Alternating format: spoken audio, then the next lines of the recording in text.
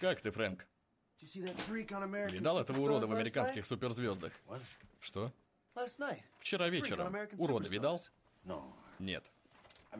То есть да, Случайно увидел. I don't watch American Super. Я не смотрю американские суперзвезды. You don't watch it, but you saw. him. Не смотришь, но увидел? Понятно. show? слишком умный для такой передачи? Да. Для чемпионата по караоке, в котором делают звезд из бездарей, я слишком умный. Зачем ты так? Некоторые там явно одаренные. Нет, они поют в нужной тональности. Как правило, попадают в ноты. Они никак не угрожают жизни детей и старушек. Еще могут стоять в очередях на стадионе, заполненном смущенными и отчаявшимся людьми. Я могу тебя заверить, одаренностью там и не пахнет. Ну да, 32 миллиона человек с тобой не согласятся. Именно столько позвонило на программу в прошлом году, чтобы проголосовать. Жаль, что я не гениальный изобретатель. Придумать бы, как соединить телефон со взрывчаткой, которая детонирует от набора номера американских суперзвезд. Чтобы батарея рванула и оставила на лице отметину, чтобы я сразу понимал, пока меченый не раскроет рот. Вот с этим не разговаривать. Посмотреть и сказать. Не надо, ты не скажешь мне ничего ценного и важного. Да, но передача смешная, как ни крути. Стивен Кларк прикольный.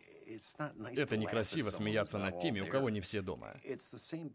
Отвлекаться от проблем, глядя на цирк уродов, признак начала упадка могучих империй.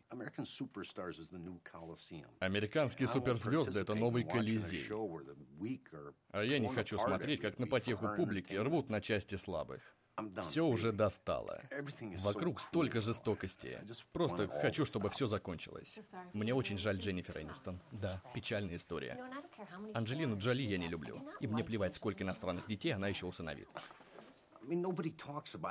Никто не говорит больше ничего интересного. Только повторяют увиденное по телевизору или прочитанное в сети.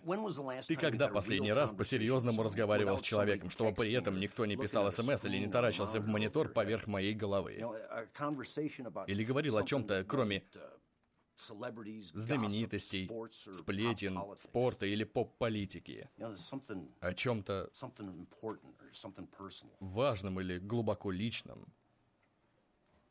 You know what? That's nice.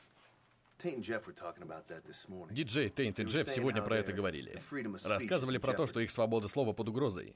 Что, их ты тоже не слушаешь? Нет, не слушаю. А, тебе больше по душе Кейти и Снейк? Пит. А хотя они те еще pussy. ссыкуны, без обид, Фрэнк. И все свои идеи потырили у. Тейнта и Джеффа. Мне никто из них не нравится. Братан, да как так можно? Может, они и не политкорректны, зато шутят смешно. Ну, я не боюсь иностранцев и вагинальных людей, I поэтому я вряд ли отношусь к целевой аудитории. Да ты просто не врубаешься в юмор. Не хотел тебя обидеть. Oh. Врубаюсь. Меня коробит не потому, что мне не нравится, когда злобные, предсказуемые диджеи-миллионеры жалуются на celebrities и ноют, что им плохо живется. А в это время я живу через картонную стенку от семьи неандертальцев. И у этих неандертальцев не ребенок, а сирена defense воздушной off Каждый вечер ревет, блять, как при атаке на Перл-Харбор. Меня коробит не то, что диджеи ведут себя так, будто я должен защищать их права всей стаи, набрасываться на тех, кто не может за себя постоять. И не то, что мы с тобой должны защищать право на свободу слова. На нашу свободу слова им похуй. Ты против свободы слова? Она, между прочим, прописана в Билле о правах. Если бы я считал, что их свобода слова под угрозой, я бы защищал их. Я бы защищал их натужные шутки. Про отсос хуев, против геев, про расизм, изнасилование с претензией на остроту и провокацию. Да какие они провокационные, они только продают. Они не могут еще сильнее угождать публике или стать еще мейнстримнее. Потому что выросло уже целое поколение этих «Ой, как ты можешь такое говорить?» Для кого шокирующие выкрики важнее правды. Ни у кого не осталось стыда, и мы должны этому радоваться. Я вчера вечером видел по телеку, как одна женщина запустила в другую тампоном на канале, который позиционируется как канал современной женщины. Дети бьют друг друга до потери пульса и выкладывают видео на YouTube. Помнишь, когда-то поедание червяков и крыс в последнем герое вызывало отвращение? Сейчас даже как-то странно вспоминать.